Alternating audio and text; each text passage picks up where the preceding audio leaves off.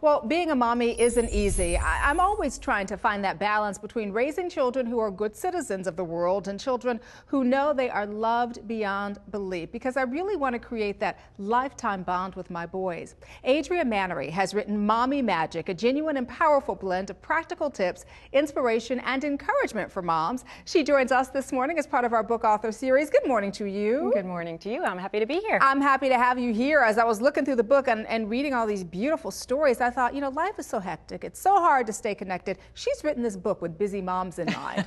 and you're absolutely right because I did it on purpose. Right, right. And you know, it's just such a difficult world right now because everything's so fast paced and it's fueled by this nonstop technology. And so I wrote it so that moms could pick it up on the run and grab an idea for the day, or when they do have a moment, which I know is rare, they can sit down and, and relax and be encouraged by the different stories and, and that's the thing that's so beautiful about the book mm because there are so many different stories. It's really overflowing with all these enchanting, you know, suggestions and these heartwarming um, stories and activities and poetry. It, it really does touch on every aspect of a, of a mother-child relationship, doesn't it? It really does. And, and you know, this is the third edition now, and I'm happy to say it's a bestseller, but the thing that I've enjoyed the most is connecting with the moms. Oh, and, yeah. and, they've said the same thing about how unique it is because it touches on the emotional side as well as the physical reality that we have to come up with something new and fun every day.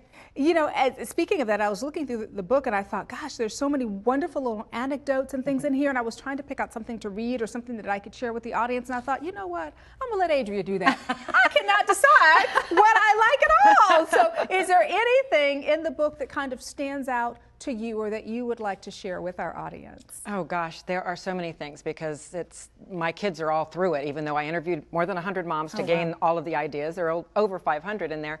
But I think my favorite is where it started, and that is when my son Dane um, came home with us one night. Well, we had had a beautiful day, one of those days where no one was arguing and no spills. You know, I know it's rare, yeah. but we got home. My husband had fixed dinner. I mean, it was just a beautiful day and evening. So I was trying to explain to him just how special the day was, and I paused, which I know is unusual for me because I'm a talker. But when I paused, my little boy, six year old, six years old, looked up at me and said, "It's because of the magic, mommy." Mm. And I now you relate to it, but but at the time there was no Harry Potter or anything. But I thought, well, it has to be wizards or fantasy of some sort. So I asked him. I said, what what kind of magic, honey? And he looked up at me. He said, the magic that's called mommy.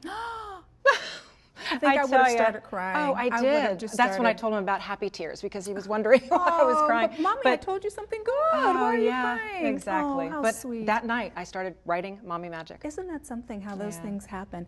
You know, one of the things, and you and I were talking a little bit about this, that's very important for me as my children grow is to be present and to really be there because I know this window I have with them is so short. And one of the things my mom says is that she didn't realize how important being present was until we were grown-ups. So yes. I wanted to be present now based upon what she said and knowing how important it is. That's probably one of the biggest gifts we can give our children, right? Oh, it is. It is. We live in this fast-paced society, like I was talking about, and and I, I would hate when I drop my kids off to, at school and you would see these moms and dads doing the Hollywood kiss, yeah. you know, and then running off. Well, one of the best things you can do is hug your child until they let go. That type of thing. But so often now with both parents mm-hmm. working, you can't be there. So I came up with a little invention um, several years ago yeah. when my own husband had. Um, gotten sick and we yeah. had to go away for treatments and, and so we were gone for two weeks but we recorded little stories and i love yous and good nights mm-hmm. on a tape recorder so when i started writing mommy magic i thought it'd be really nice if it was surrounded with something soft so mm-hmm. i came up with the magic whispers pillow and uh, on the back it will read magic whispers from the heart keep us close when we're apart mm, how nice and on that pillow you can actually record yes yeah. yes I'm, you know and that's the best thing about it. Yeah. It's a secret magical pillow because it has a cord inside. So most of the toys you see like this, they only allow 20 seconds or 30 seconds. But with this, you can plug it into your own digital recorder and say whatever you want. Girl, I would be saying, okay, it's 8.30, go to bed. Did you brush your teeth? Did you wash your face? Is your homework done? Didn't that, I say go to bed? I like that. like they could see me actually through the pillow. yes, yes. And you can put your pic picture here like. exactly, with me pointing yeah, like this. What is the most important magic uh, you think uh, that we can give our children, Adria? Oh, that's such an easy one, and that is the magic of love and, and unconditional love. And it's really the heartbeat of every page of the book because we mm-hmm. need to show them love. We can love them unconditionally and, and show them in certain ways, but we really needed to make sure that every day we show them, we put that love in action. I think that's a great way to end it. And thank you so much for coming by and sharing this information in the little love pillow with us. So cute. I appreciate it, Adria. Good to meet Thank you. You too. Wonderful book. And again, the book is called Mommy Magic Creative Activities and Inspiring Stories to Deepen the Bond with Your Child. For more information on Adria or the book, please visit the website, themagicoflifeseries.com.